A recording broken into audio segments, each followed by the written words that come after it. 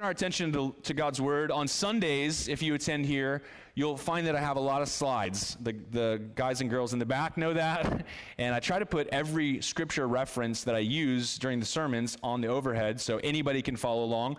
But since this is Wednesday, and only really serious disciples of Jesus come to church on Wednesday, I thought it would be helpful for us to actually use our Bibles. So if you have a Bible, you brought it. If you have your phone, you have an app. Or if you don't have one, we got a stack of them on the back table go ahead and grab a Bible. I am going to read kind of slowly and carefully, but I'd love for us to have some paper in our hand. If you don't mind doing that, I would greatly appreciate it, and it'll help you to see what it is that we're studying together. The, uh, the topic of this little sermon series we're doing is called The Power of Now. Somebody say the power of now. Oh, more than one person. Great. Good, good job. You guys sound good. Uh, the power of now. The idea behind this sermon series is we're talking about living in the moment. In fact, I had subtitled the series in my early preparation, The Power of Now, Living in the Moment. And I backed out of that because it's easy to live in the moment with no reference to God. Uh, you can be a total hedonist who's right in the moment experiencing whatever you're experiencing, only caring about right now, not planning for the future, not having learned from the past, no reference to others, and just loving the moment. It's a very carefree existence. That's not exactly what the scripture has in mind. And so I changed the subtitle from, from living in the moment to the life transforming practice of knowing God in the present. Now that's overly long and cumbersome, I recognize.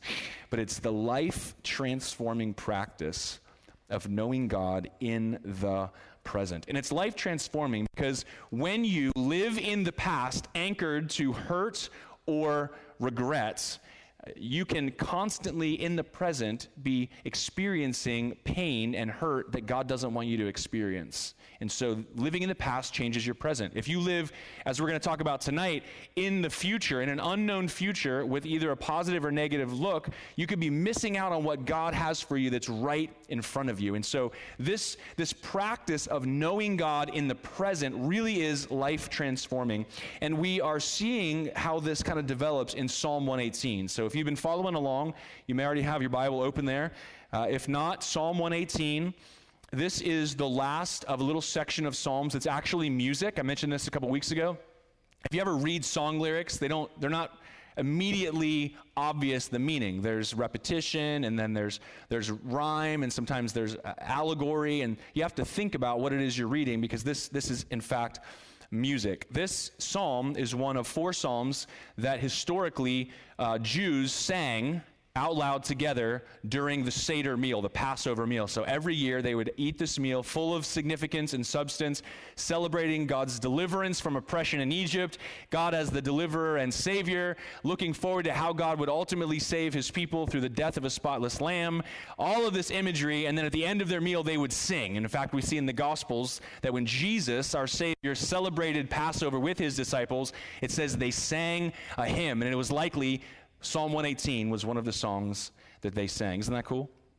And so we've been looking at different sections of it. We started with uh, the present, and then last week we looked at the past. Today we're going to look at the future. so let's read Psalm 118. We'll overlap a few verses. I'll start in verse 14 and we'll read through uh, 24 and then we'll jump in. Here's what it says Psalm 118, starting in verse 14. The Lord is, present tense, is my strength and my song. He has become my salvation. Glad songs of salvation are in the tents of the righteous. The right hand of the Lord does valiantly. Notice the present verb. The right hand of the Lord exalts. The right hand of the Lord does valiantly. We read that last week, and now, verse 17, the psalmist looks to the future. I shall not die, but I shall live and recount the deeds of the Lord. Recount or remember. That was the focus from last week. Here he's focusing on what the future will look like. He's recognizing that God is the source of his life, and so he uses the analogy of life and death to talk about a positive future, to sing about a positive future and a rescue from death itself. Verse 18 The Lord has disciplined me severely, but has not given me over to death. Things were not great for the psalmist.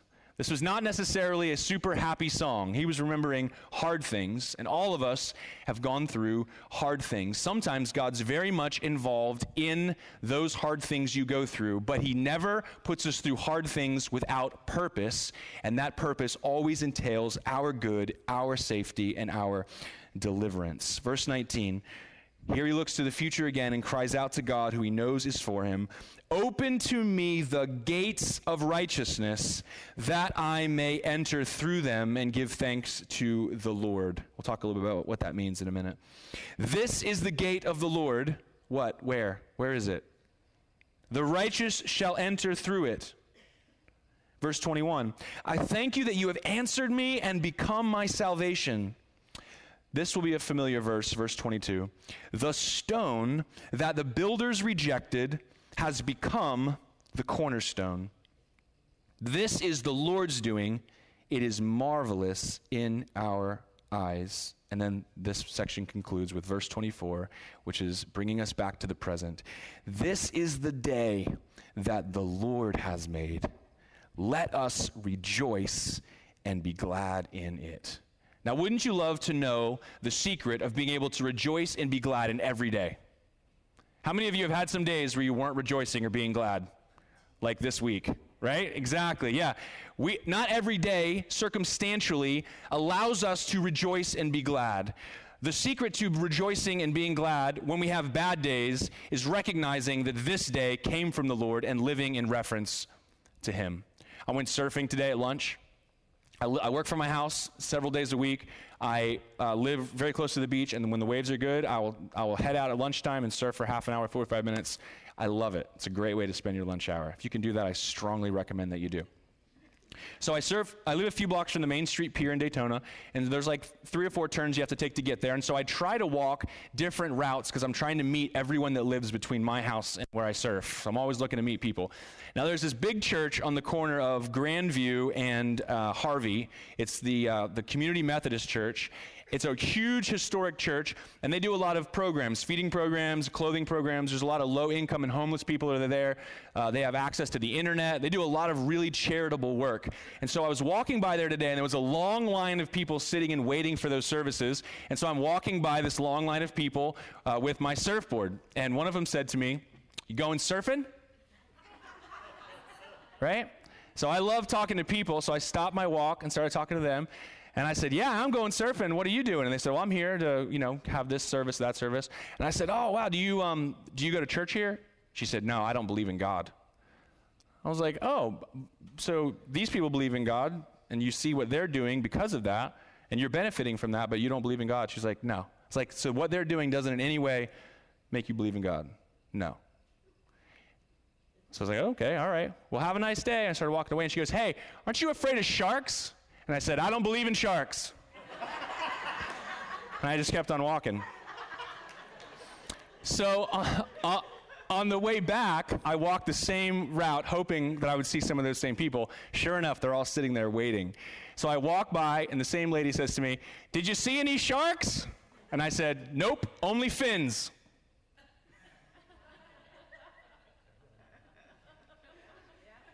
Yeah, exactly. Only fins.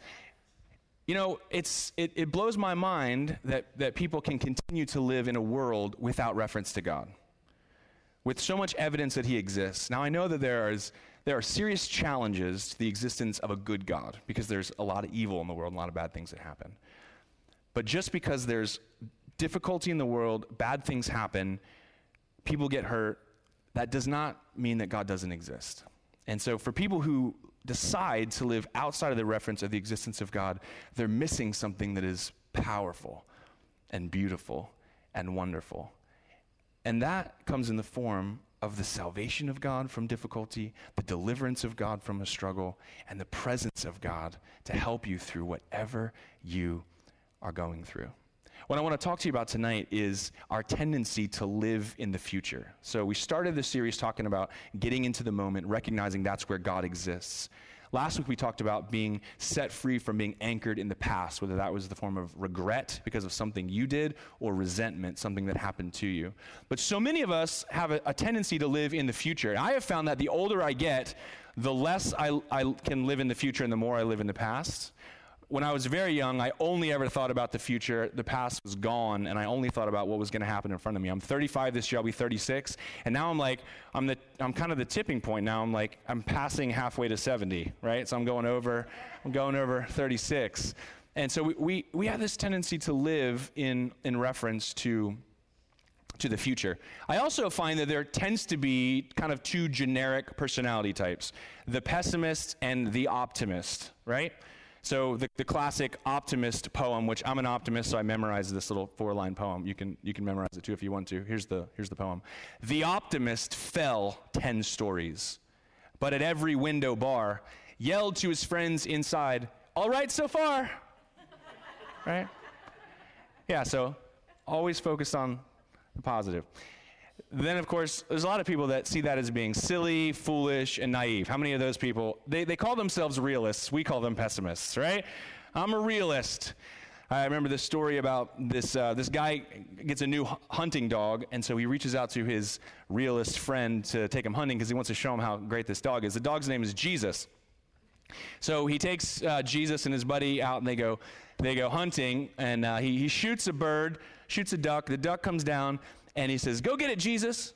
And so Jesus runs out on top of the water and grabs the duck and then runs back on the water. Right? Pretty amazing. So he looks at his pessimistic friend, see what he thinks about that. Guy has just a sour look on his face.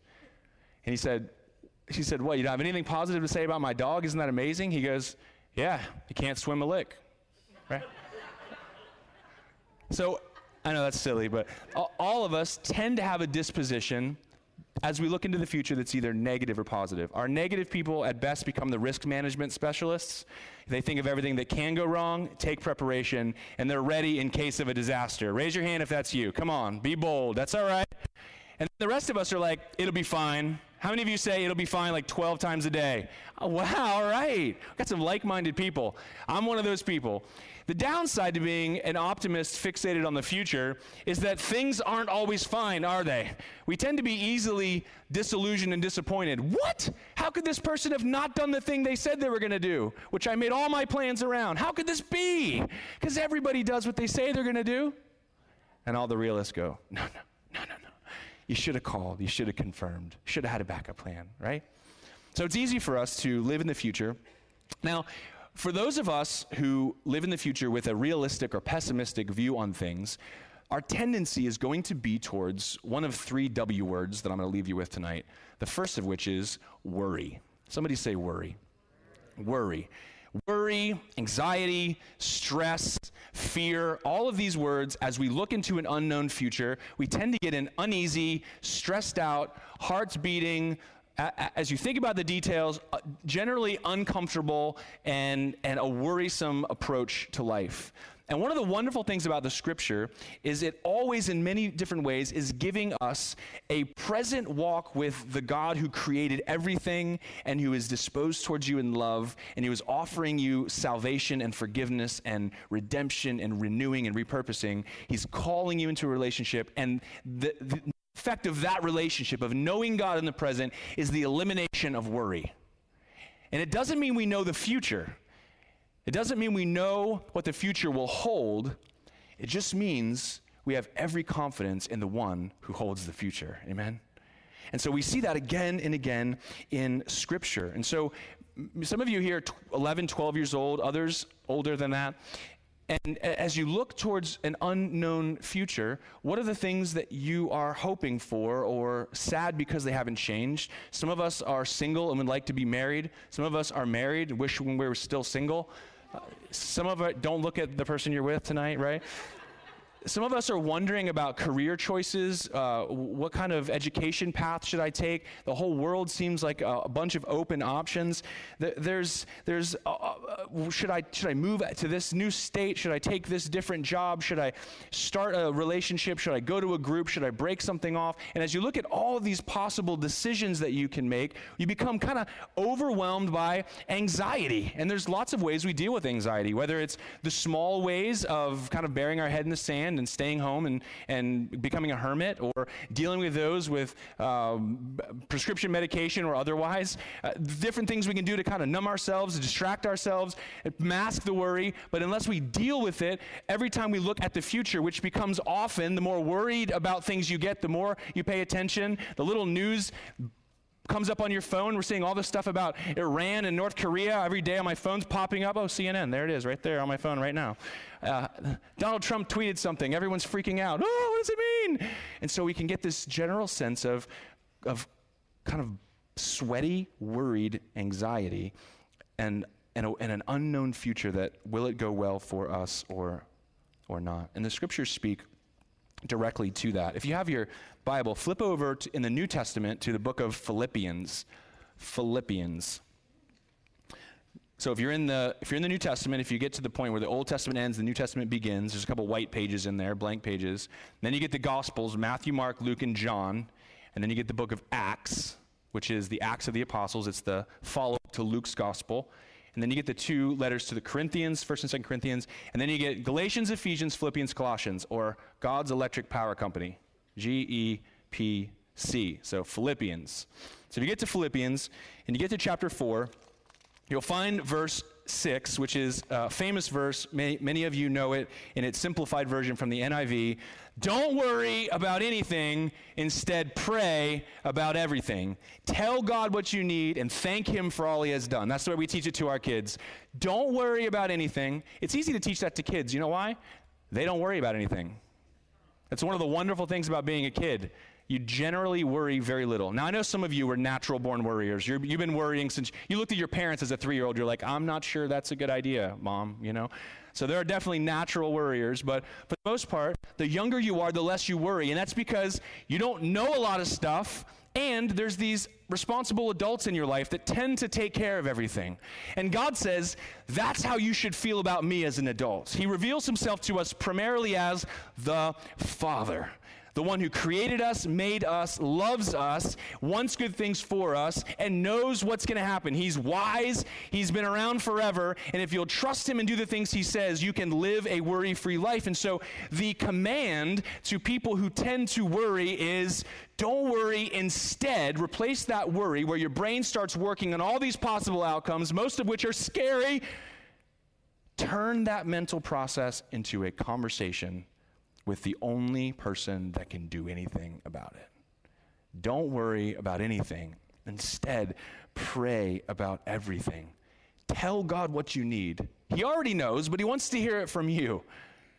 And then thank Him for all He has done. You're recognizing the presence and active movement of God in your own life. That builds your own faith, it draws you into an experience of Him and it allows you to participate in God reshaping the future for your benefit. Isn't that amazing?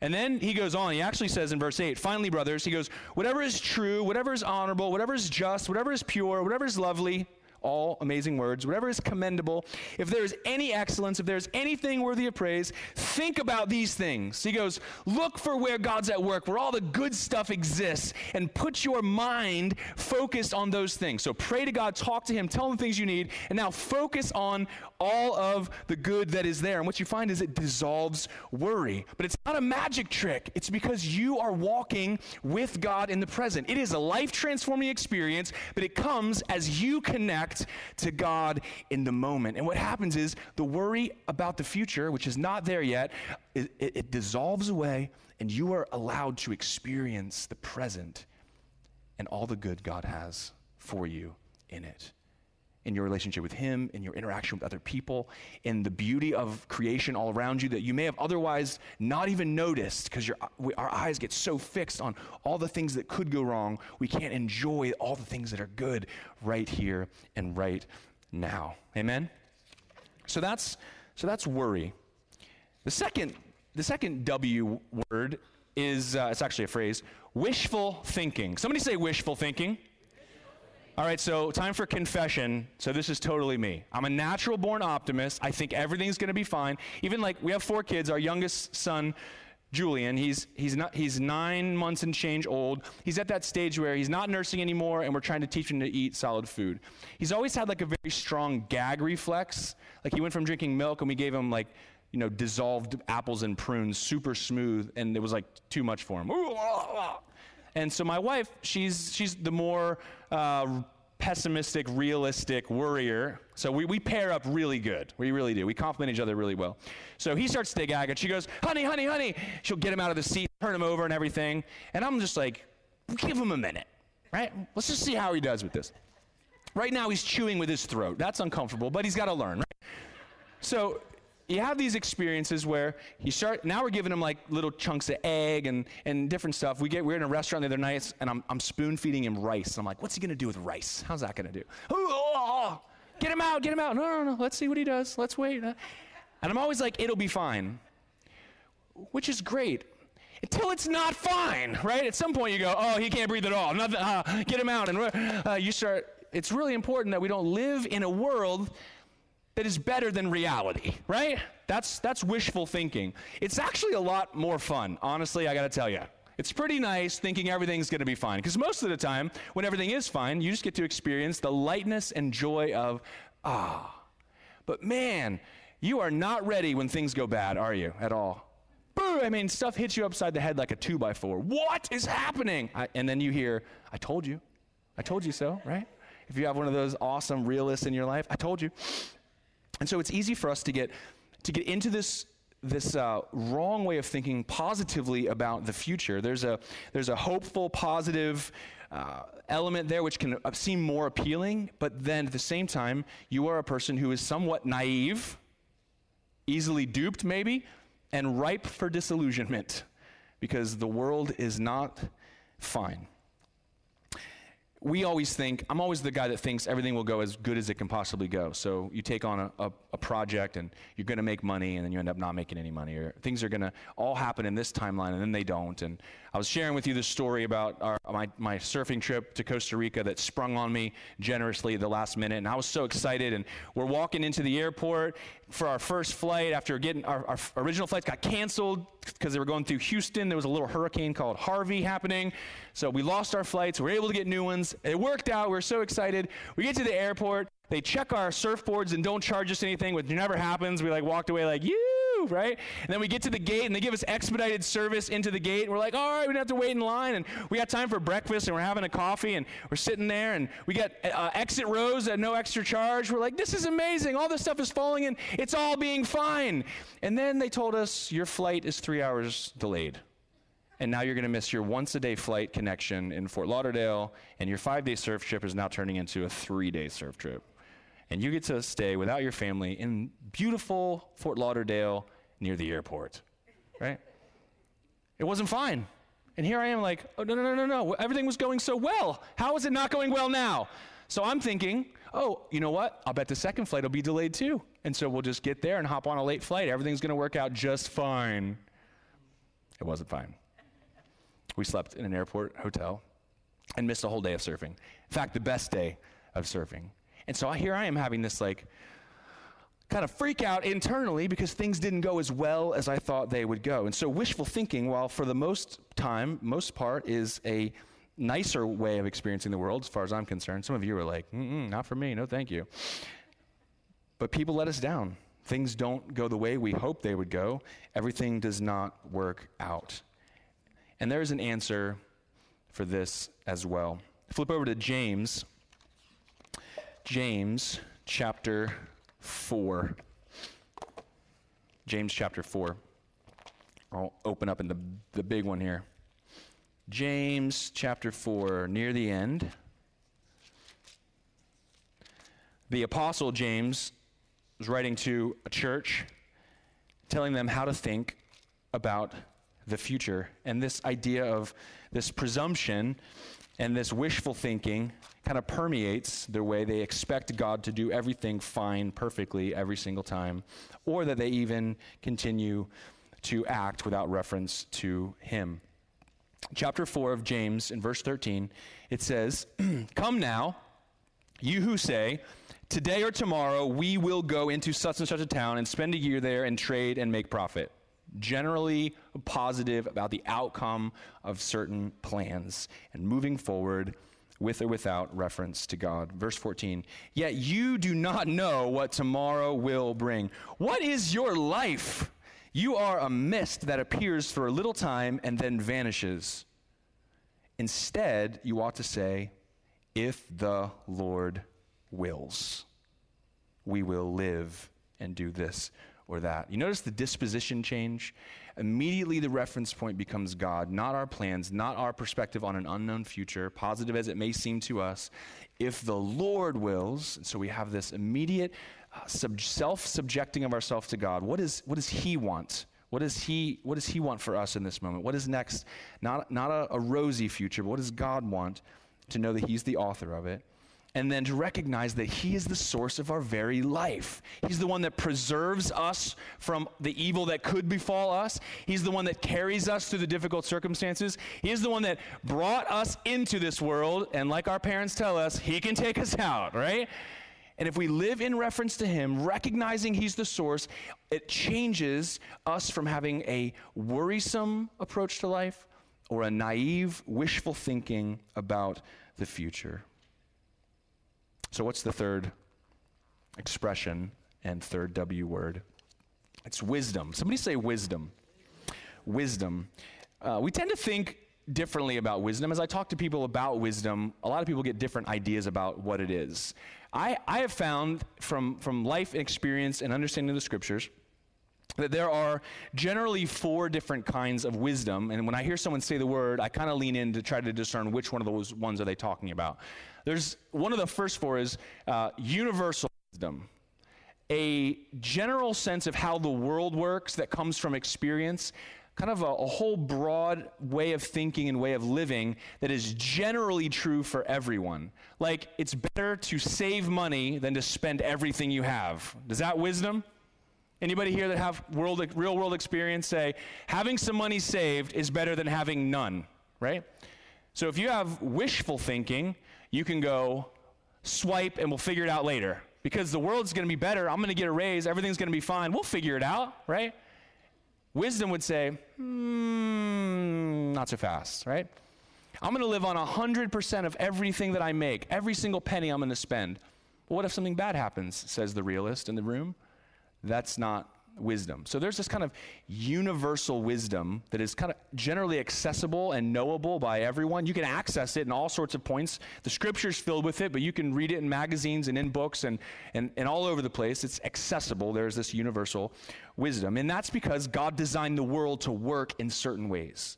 And not all things have immediate consequences. And so there is this universal general wisdom that all humans have access to, and most of us gain through personal experience.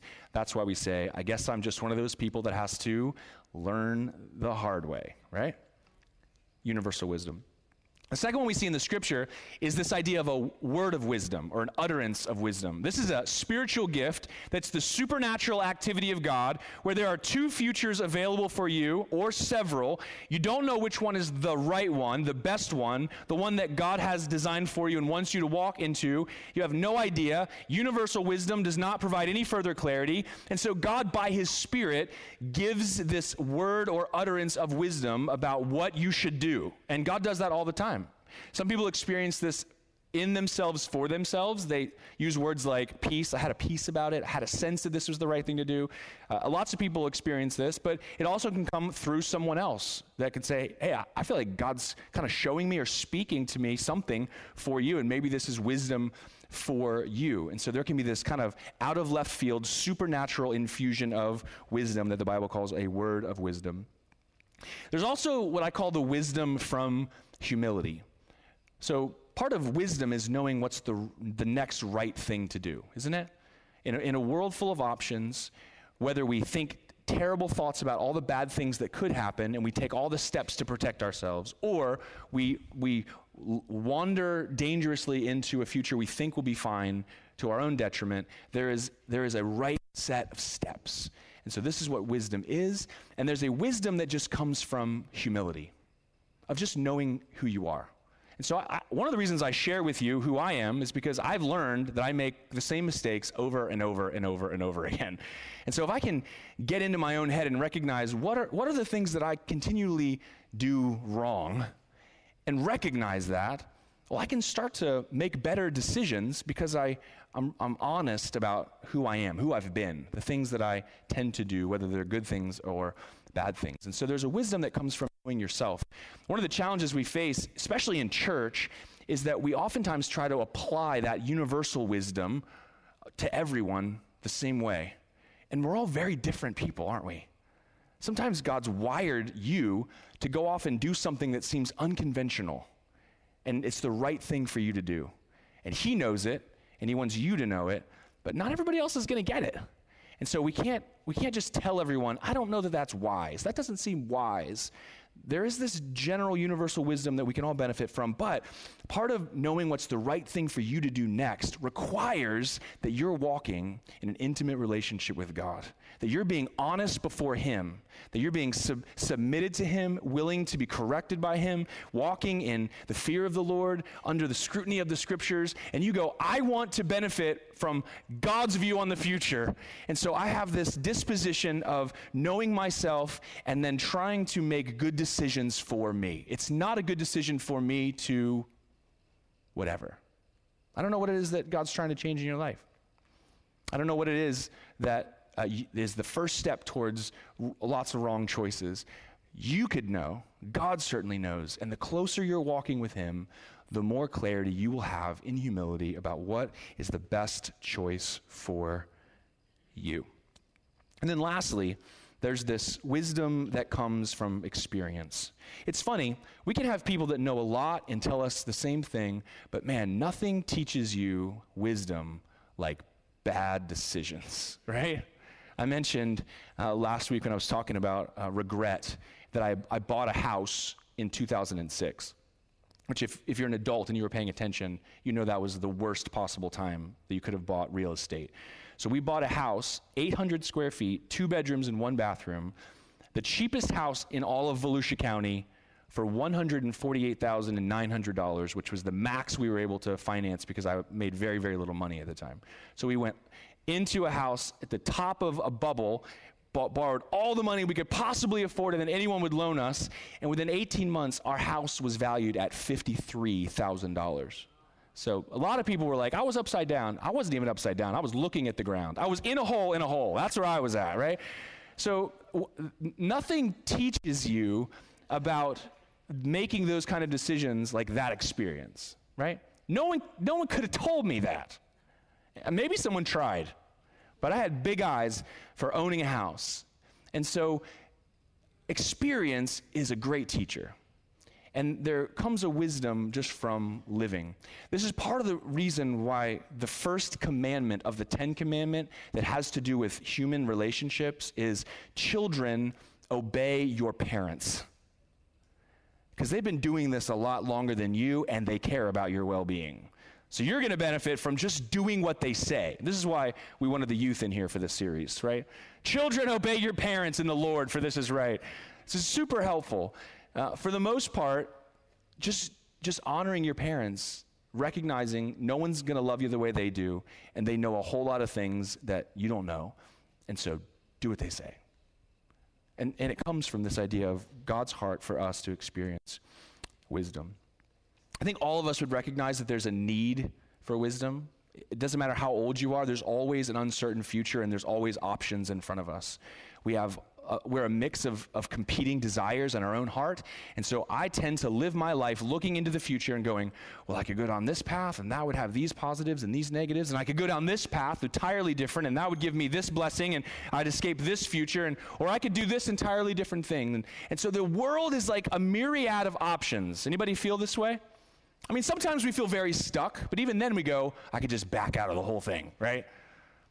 And so here we have a, a moment, a present experience where our feelings and thoughts about an unknown future can drive us to fear, anxiety, stress, and worry, or we want to just be positive and naive about everything's going to work out, everything will be fine. Ultimately, what God calls us to is to walk with Him in the present, and He says He will provide wisdom for each next step. That's His promise. We look back to James uh, chapter 1 and verse 5. It's a powerful passage. I'd suggest all of you familiarize yourself with it. It's very short. It says, If any of you lacks wisdom, here's that, here's that drive back to a relationship with God, the presence of God, prayer. If any of you lacks wisdom, James 1, verse 5, let him ask God, who gives generously to all without reproach. And here's the promise and it will be given him. Isn't that, a, isn't that an amazing promise? And so, if we can live with God in the moment, not only do we have our worries dissolved, are we saved from a rosy outlook that ultimately could end up slapping us like a two by four with reality, and we have this, we have this intimate experience of God in the moment, and He says, I will tell you what the next thing to do is. He doesn't tell us what all the next steps are, but He gives us the next one, and the next one, and the next one. And He goes, Live right here in the moment.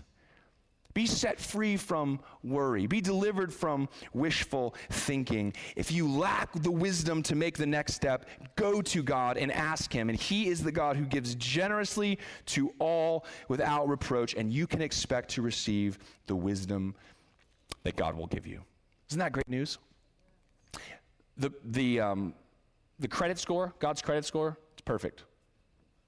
You guys have ever pulled your credit score? I know if you're 12, you haven't pulled your credit score. Your parents will talk to you about that. God has a perfect credit score, and it will never change. He's 100% reliable to do what he said he will do. And, and that is actually found in Psalm 118. I don't know if you know this or not.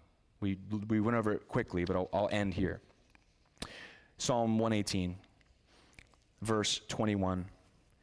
I thank you, here the psalmist is talking to God. I thank you that you have answered me and have become my salvation. God did act on his benefit on his behalf. And it, in verse 22, there's this enigmatic pair of sentences. The stone that the builders rejected has become the cornerstone. This is the Lord's doing, and it is marvelous in our eyes. One of the things about walking with God you will find is He does things you never expected, never could have prepared for, never saw coming. He delivers you from certain calamity. Your enemies are against you strongly, there's no way out, and God does something to remove them completely. What? God did it, and it's marvelous in our eyes. You are facing perfect need with no help, no income, no promise, no possibility, and a check ends up in your mailbox. See, God, God is outside of the box, and when He acts, we all go, What? And this is why He drives us to Him in prayer. He wants us to be continually having this experience of being able to enjoy the moment because we're knowing the God who does marvelous things for His people. And the credit score, the trustworthiness of God is found in verse 22. The stone that the builders rejected has become the cornerstone. Now, there is a large and long biblical historical setup to understand this. This ultimately is fulfilled in the death, the betrayal, and execution of Jesus, the Messiah. He is the cornerstone. Now, we don't build like this anymore. Here's a picture. The big block there, that's the cornerstone. We, we now build on foundations, so monolithic foundations or um, diff- different ways of building, but this is the way this is done historically. You'd find a very large stone that would not crack or shear, and that stone would be planed out perfectly, nice and straight, sure and true. And then that would be placed perfectly so that it could be built off of in every direction without any more leveling. So you get that, that one cornerstone set properly, and it's, it's lined up on your property, your lines. Everything's, you twist it a little this way, everything's wrong. You twist it a little this way, everything's wrong. Once it's set and straight, now you can just keep building and building and building and building and building. And, and because that cornerstone was where you started, and because it's tried and true and sure, everything you build on that will then be straight and trustworthy and, and square. This is the idea of a cornerstone. Now, there's a theme in Scripture about a stone, and I, we don't have time to get into it all tonight, but there's always been this expectation that there would be this person who would represent God's people and be the stone, be the one who would kind of provide the direction and provide the stability and be the anchor. And ultimately, brothers and sisters, we find in the Gospels a reference to this verse saying, This is Jesus. And he was rejected by men. The people who are the builders, who are the ones who are meant to be establishing the purpose of God through the people of God, looking for that cornerstone by which everyone could anchor themselves, straighten themselves, align to, and live in reference to, looking for that stone. They didn't find it and use it, they tripped over it and it shattered them. That's the imagery we see in the scriptures. Now that's scary, isn't it? And so here tonight, all of us are being offered two experiences. One in which we look to God's provision of Jesus. Completely perfect, completely reliable, fixed in time, and done. It is finished. And He invites us to set the stone of our life in reference to Him. He says this is true north, so we say it's true north. I'm not trying to figure out everything. I am referencing my life, aligning my life, building my life in accordance with the cornerstone. And if you do that, you will experience the salvation, the deliverance, the blessing of knowing God in the moment and will transform the way you experience the world. And if you go, nah, not for me, I'm going to go my own direction, what happens is, ugh, you fall over it, and eventually its weight crushes you. Now, those are two options that are very easy to tell what's the best one. Amen? So, my invitation to you, and the scripture's invitation, is that you would build your life on that cornerstone. The stone that was rejected by men, because of that rejection, Christ has become the substitution for us, the Savior for, for us, our leader, our Lord, our Savior. And so now we have a risen Christ who is in heaven, who we can know in the moment, filled with his spirit, have our present transformed as we don't look to the future, whether it's pessimistically or optimistically, but instead we bring ourselves into the moment in prayer to him, receiving wisdom for each next step and just doing what he tells us to do. And that's the Christian life. That's what it means to be a disciple of Jesus. It's to go, okay, God, I'm right here with you in this moment and I'm just going to do the next thing you tell me to do, and the next thing you tell me to do. And sometimes it won't make any sense to anyone, but it's going to be marvelous in our eyes. Amen. One of the things that will happen when you do this is it will transform the present for you. I'm going to close with this story. This is from uh, a book by Greg Boyd called Present Perfect. It's about finding God in the now, very similar theme to what we've been talking about. Here's what it says to this day, the play Our Town remains my favorite. The action takes place in a small town at the turn of the 20th century. In the play's final act, a young girl named Emily dies giving birth, and she finds herself in the graveyard hanging out with other people from the town who had died before her. There she learns that she's allowed to relive any day of her life she chooses, though the others advise her not to. She'll find it painful, they say, because the living don't understand. Emily, nevertheless, insists and chooses to relive her 12th birthday. Her 12th birthday.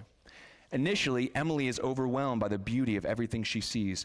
I love you all, everything. I, I, can't look at anything hard enough, she exclaims. But she is saddened as she quickly realizes that the living don't see what she sees. Everyone is too caught up in the busyness of their life to really look at one another. In frustration, Emily cries out to her mother at one point, Oh, Mama, just look at me one minute as though you really saw me. Mama, 14 years have gone by. Just for a moment, now we're all together. Mama, just for a moment, we're happy. Let's look at one another. Sadly, her mother is too busy to hear her. Before long, Emily can't bear it anymore. I can't go on, she says. It goes too fast. We don't have time to even look at one another. And then she departs the land of the living. And she exclaims, O oh, earth, you are too wonderful for anybody to realize you. Do human beings ever realize life while they live it, every, every minute. See, when we live in the future, it's so easy for us to miss what God has that's right in front of us. What wisdom cries out is important. We're always out here, we're always in the next thing or worried about what's coming down the pike. And one of the beautiful things that this story illustrates is that God has amazing things for us to experience right now in the car ride home tonight before you fall asleep on your pillow, in the conversations you have in the morning with the people that God has put right next to you, the lady in the line at the church waiting for a free meal. All those moments exist, and that, brothers and sisters, is where you will find God powerfully at work all around you. And so tonight I invite you to place your stone in accordance with the cornerstone, to turn to Him, to trust in Him, to give up your worry and exchange it for wisdom from God through, through prayer. And for all of us t- to make that reference point. Not, I'll go do this and this will work out and everything will be fine. Rather, if the Lord wills, He will let us live and we will do such and such. Amen.